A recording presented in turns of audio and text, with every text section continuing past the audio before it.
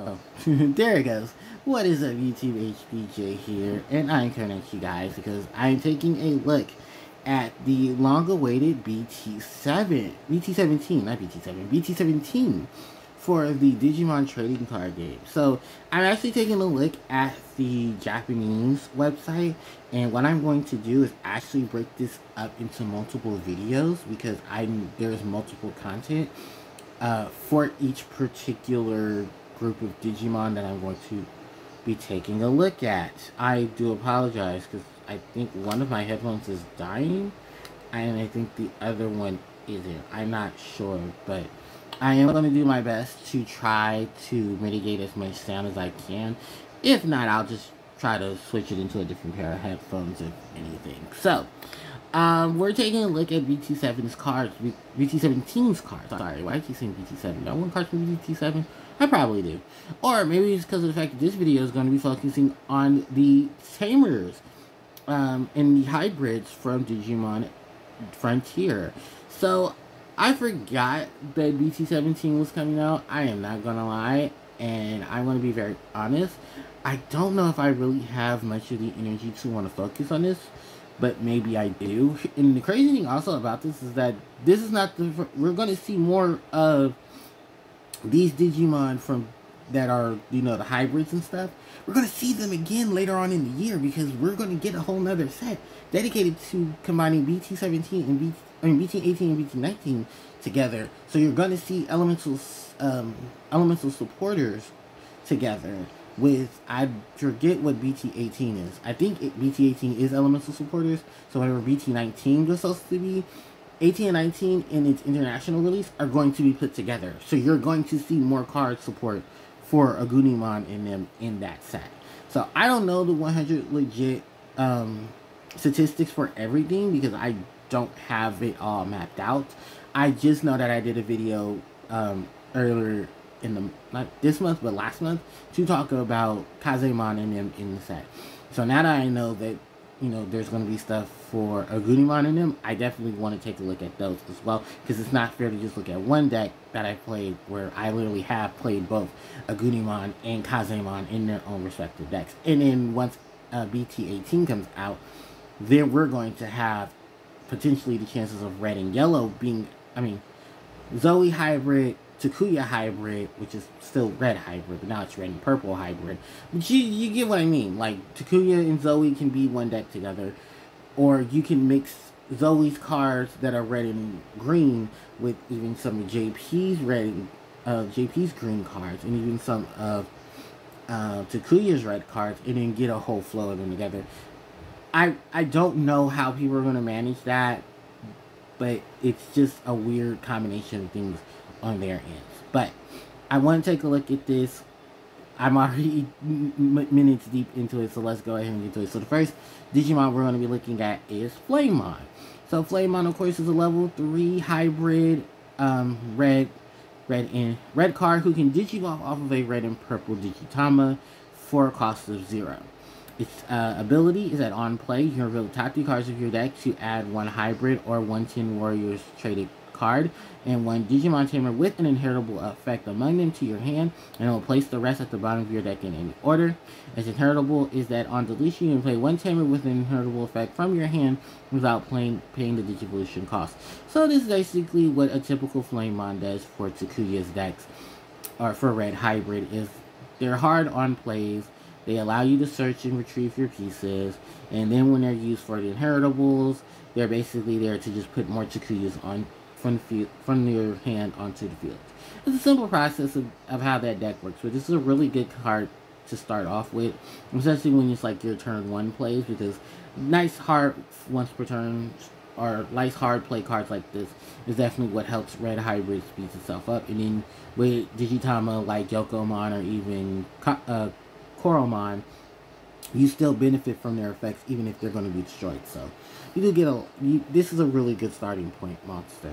So now we're going to go into a Agunimon. So Agunimon is rocking dual color, purple and red, hybrid um, level 4 with 5k DP. Digivolves off of a red or purple Digimon for the cost of 3. For his Digivolution, you can Digivolve this Digimon off of a Takuya Kanabara for the cost of 2, or a Burning Greymon for the cost of 1. You may Digivolve this Digimon from your hand in, onto a Red Tamer, and treat that Red Tamer as a level 3 Digimon. When Digivolving, if Burning Greymon is in this card's Digivolution sources, you may have a, or have a Red or Green Digimon, or a Tamer. This Digimon may Digivolve into an Ancient Greymon from your hand, for a Digivolution cost of 3, ignoring its Digivolution requirements. If Digivolved by this effect, delete this Digimon at the end of this turn. Um, for its inheritable, this Digimon gains plus 2 KDP. So basically, it's a Warp Digivolution into Ancient Greymon. Um, with a quick, easy Digivolution onto either a Burning Greymon or a Takuya Kanabara. And I like how this new Takuya is is. It's just another fitting addition to the Takuya lineup.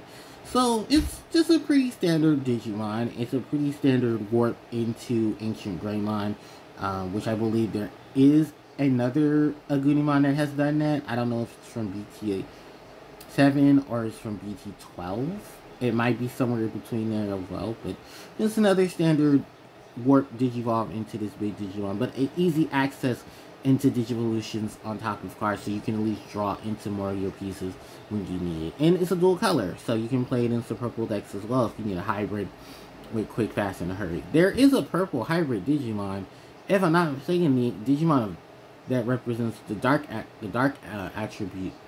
Uh, Lobo, Lobemon is one, if I'm not mistaken. Him, Duskmon, um, I forget what the other Digimon is. The Beast Spirit, Voltramon, and um, Kaiser Leomon. So, yeah. Alright. Then we're going to move on into Burning Greymon, known in uh, the Japanese version as Vritramon.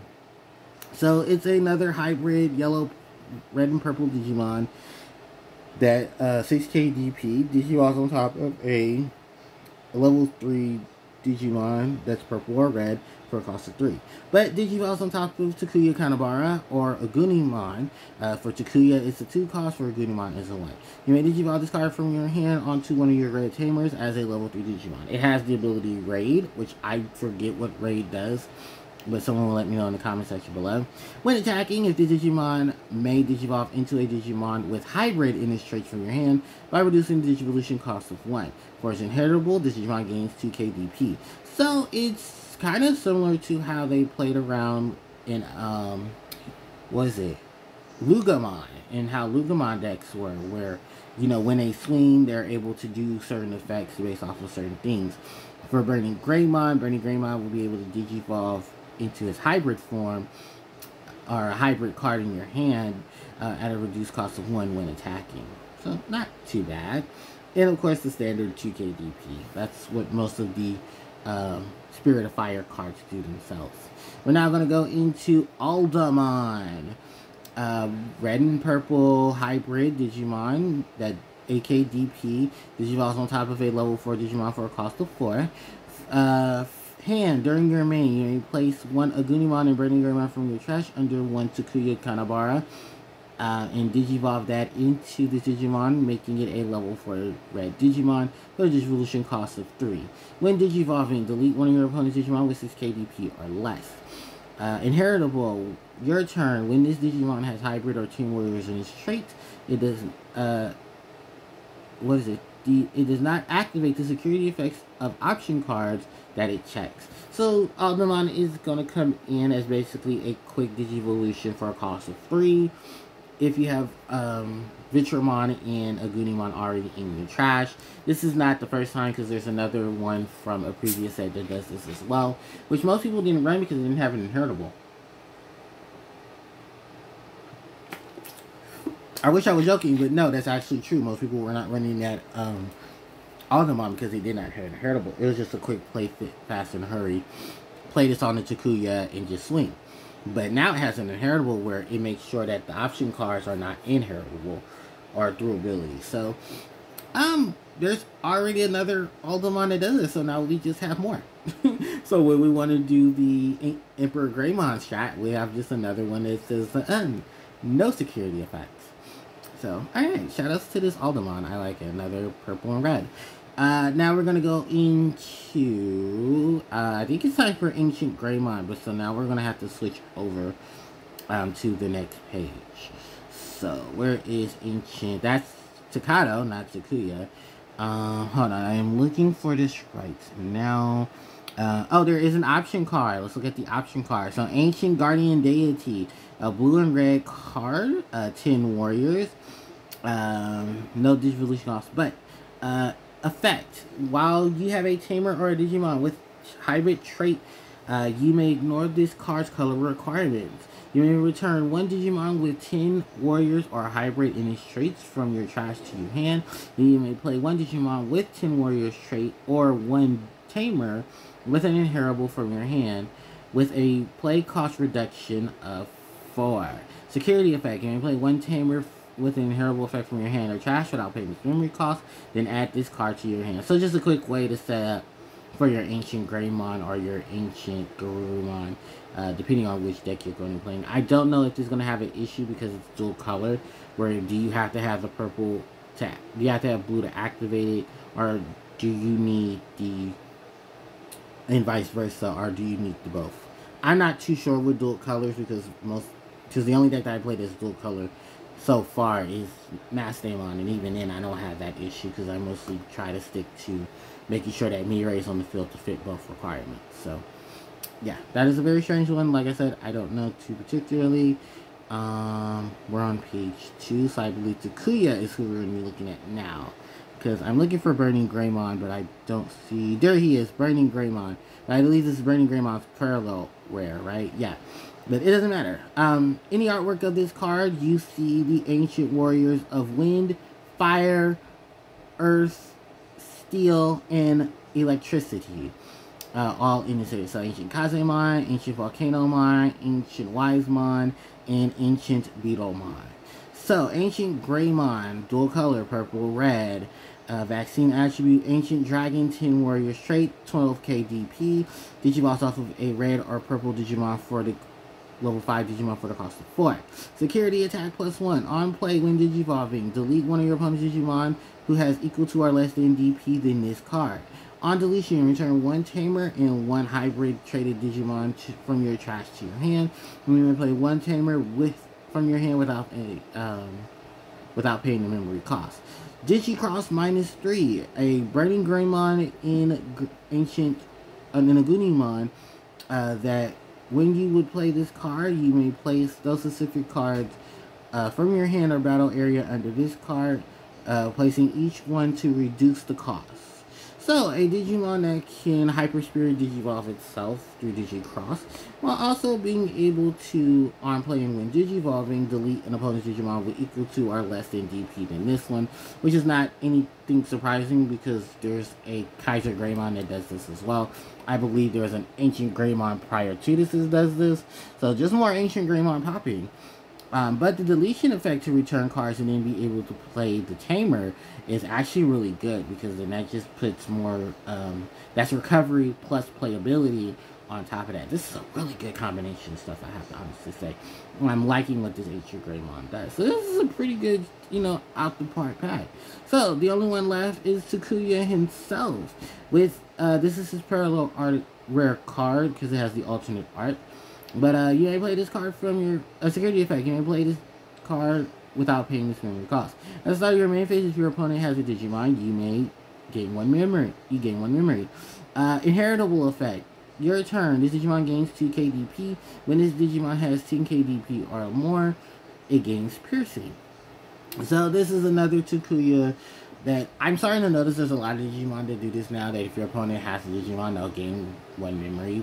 Fine, but it's all the additional stuff that I like about this Takuya.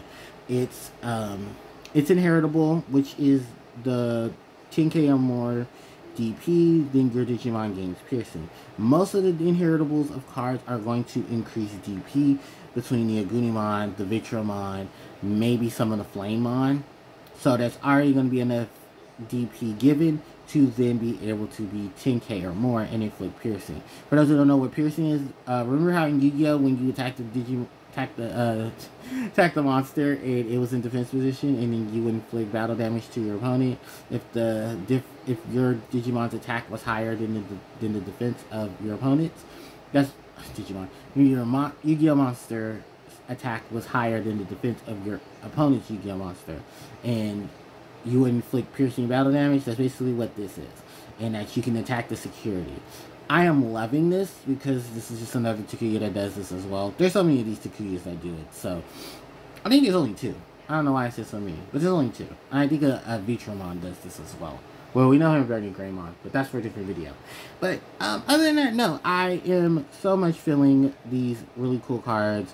Uh, I honestly think they're just going to be okay improvements. There can be some better, but no, this is totally fine. If it wants to be what it is, just, you know, speed up into Ancient Greymon and go right ahead. Speed up into Ancient Greymon and have fun speeding up into Ancient Greymon because I think, honestly, that's a really cool thing. And now we have a set that helps focus on that Ancient Greymon and even improve some of those improvements.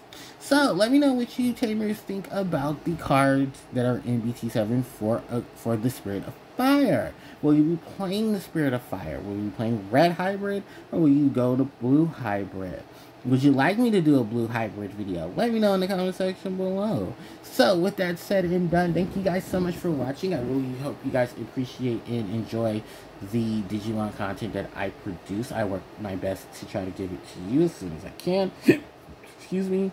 Uh, if you guys would like to see more content on the channel, don't forget to like, comment, share, and subscribe to the channel. Hit the notification bell so you guys are informed when that content goes up. I'll do my best to try to post it as fast as I can. Social media links are in the description box below because I cannot, you know, so you guys can interact with me there. Thank you guys so much for watching, and HPJ signing out. Take care.